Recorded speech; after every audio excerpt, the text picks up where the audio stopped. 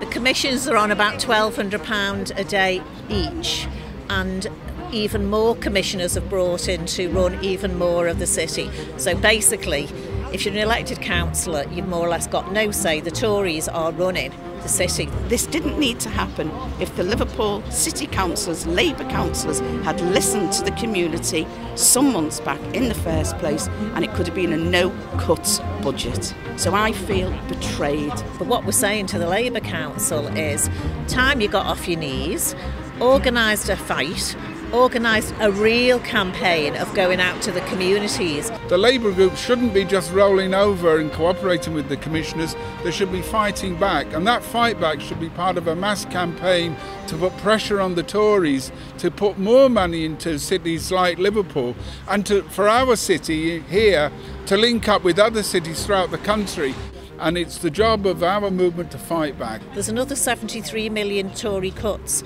coming down the pipeline.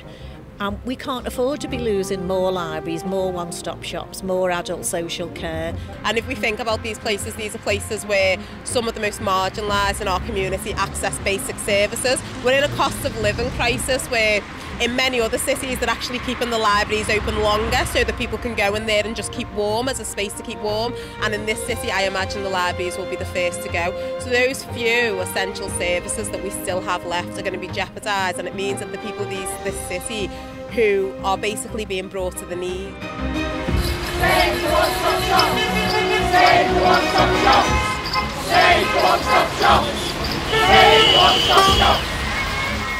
Well, we've been here for two years, and naturally, we haven't seen our MP, Paula Barker, who we helped get elected, but we haven't really seen her since.